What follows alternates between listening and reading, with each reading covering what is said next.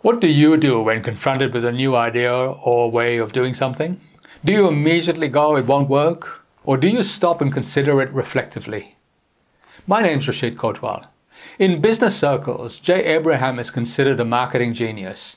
One of his mantras is that most innovation and new ideas come from outside your own industry, but you have to be open to them. Heard an interesting bit about psychology along those lines. It seems that the average person needs about 72 hours to take on a completely new concept and give it consideration. In effect, it takes time for the idea to percolate. So my suggestion when presented with any new idea is not to immediately reject it, but put it on the back shelf of your mind. And every now and again, take it down, look at it and see if something's changed. You might well be surprised at the new insights you get if you allow yourself the processing time.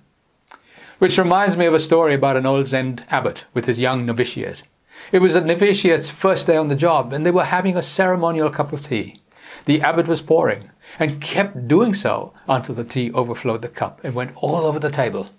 But abbot, the tea is overflowing, no more will go in, cried the young novitiate. Yes, I know, said the abbot. You are full of your own opinions and speculations. How can I show you Zen unless you first empty your cup? And so it is with your business. We all have blind spots. We do the best we can, but unless you empty your cup, nothing new can come in, and you will be the poorer for it. Till next time, this is Rashid Kotwal.